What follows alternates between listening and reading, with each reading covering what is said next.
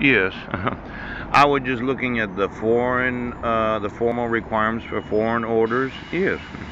A protection order is valid if the issuing court had jurisdiction over the parties and subject matter uh, under its own laws. A protection order is presumed to be valid where it appears authentic on its face. Yes.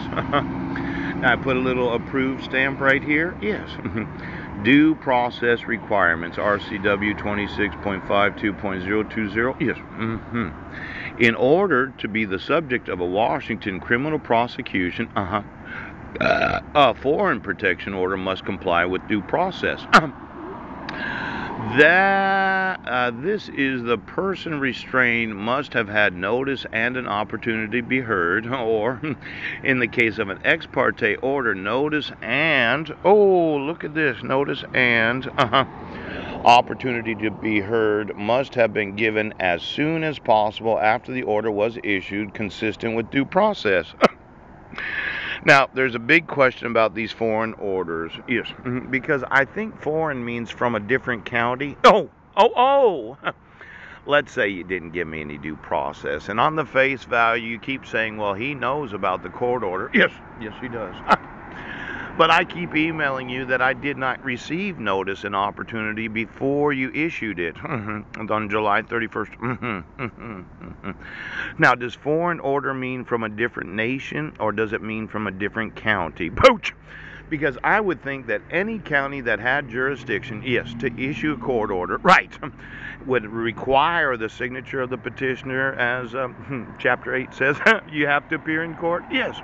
And you couldn't use a forgery of an elected oath of office. No, you couldn't.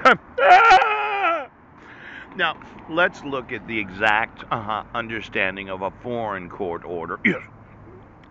Each and every county has its own individual jurisdiction. Isn't that correct? Yes. Mm-hmm. And Jefferson County is enforcing a Clallam County a court order that, on the face of it, yes, just reading the first page, did the respondent receive actual notice of the hearing? No.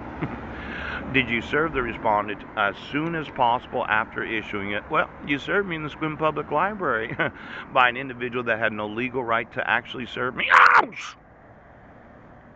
Yeah.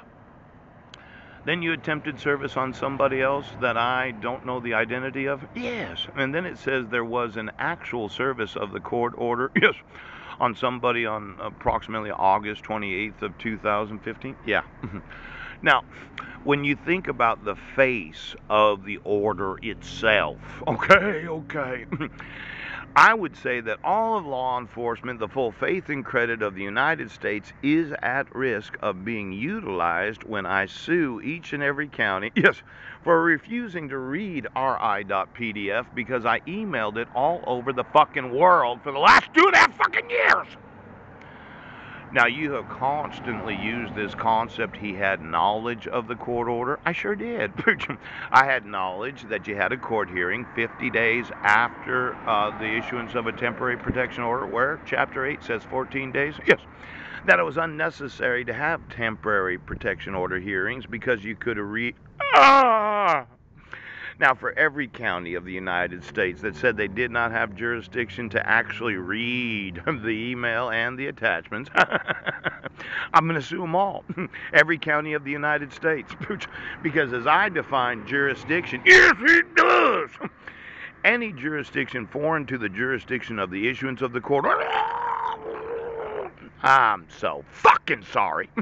now, for every state of the United States that has a Supreme Court, yes, that understands civil court, civil contempt proceedings, yes, that understands that you put me in jail for fucking years. And then for some reason you said, well, I don't have jurisdiction. well, the full faith and credit of the VAWA, yes, the PKPA, which I'll show you a picture in just a moment. Yes, he will. For every individual that happens to be in office at this fucking very blah, blah, blah.